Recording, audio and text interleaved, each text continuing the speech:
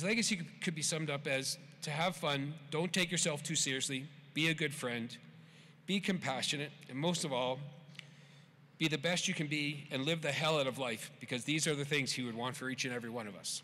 I was lucky enough to be loved by Owyn, and they were the best years I've ever had.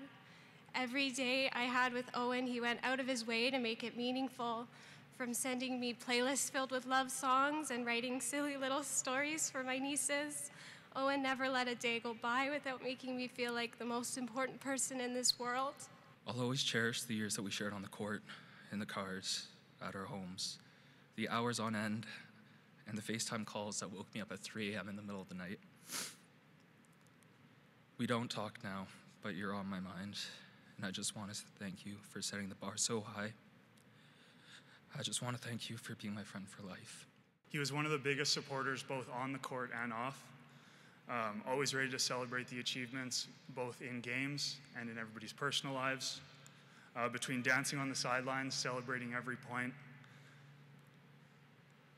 just hearing about jobs that I applied on, between successes, failures, and everything in between in my life, I just know that he was there for the support if I wanted to rant or if I wanted to just celebrate anything.